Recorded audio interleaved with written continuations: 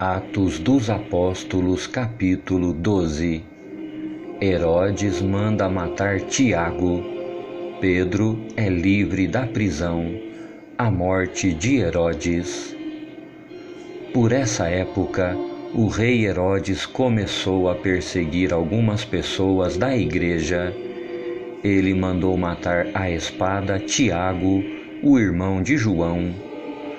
Quando viu que isso agradou os judeus, mandou também prender Pedro. Isso aconteceu durante a festa dos pães sem fermento.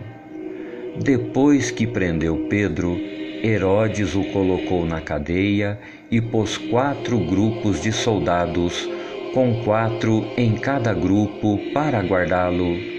É que Herodes queria apresentá-lo ao povo depois do dia da Páscoa. E assim Pedro estava preso e era vigiado pelos guardas, mas a igreja continuava a orar com fervor por ele. Na noite antes do dia em que Herodes ia apresentá-lo ao povo, Pedro estava dormindo preso com duas correntes entre dois soldados, e havia guardas de vigia no portão da cadeia. De repente, apareceu um anjo do Senhor e uma luz brilhou dentro da cela. O anjo tocou no ombro de Pedro, acordou-o e disse: Levante-se depressa. Então as correntes caíram das mãos dele Aperte o cinto e amarre as sandálias, disse o anjo. E Pedro fez o que o anjo mandou.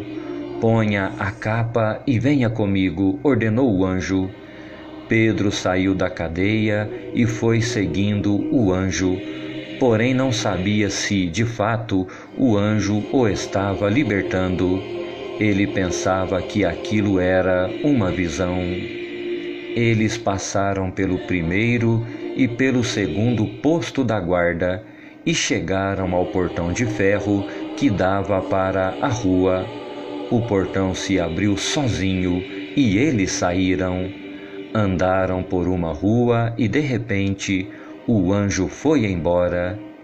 Então Pedro compreendeu o que estava acontecendo e disse: Agora sei que, de fato, o Senhor mandou o seu anjo e me livrou do poder de Herodes e de tudo o que os judeus tinham a intenção de me fazer.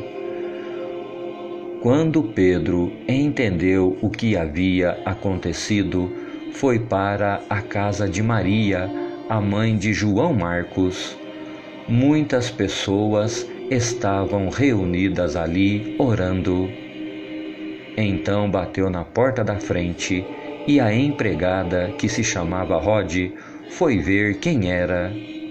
Quando reconheceu a voz de Pedro, ficou tão contente que, em vez de abrir a porta, voltou correndo para contar que Pedro estava lá fora.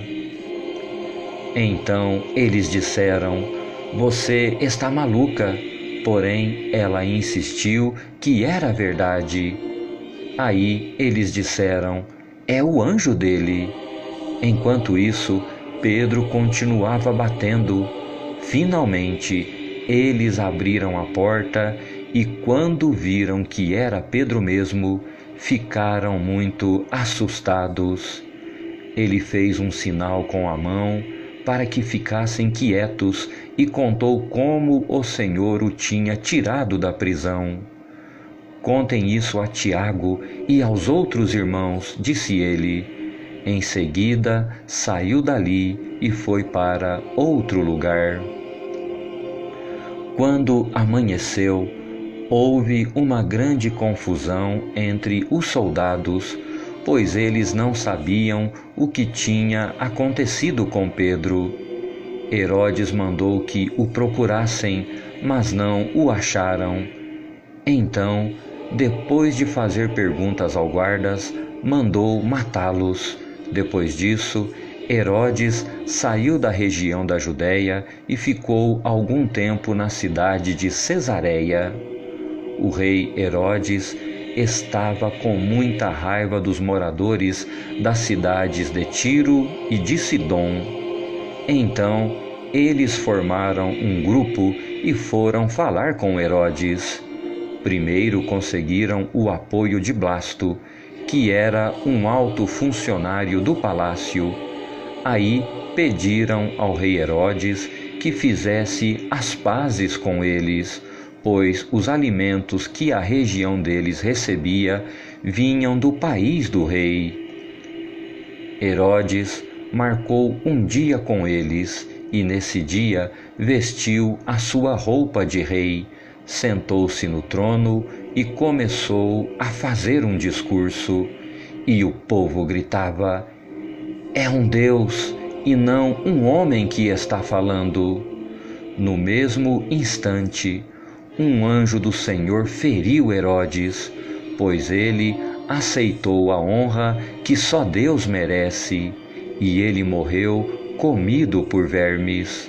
Porém, a palavra de Deus era anunciada em toda parte e ia se espalhando. Barnabé e Saulo terminaram o seu trabalho e voltaram de Jerusalém, trazendo João Marcos consigo.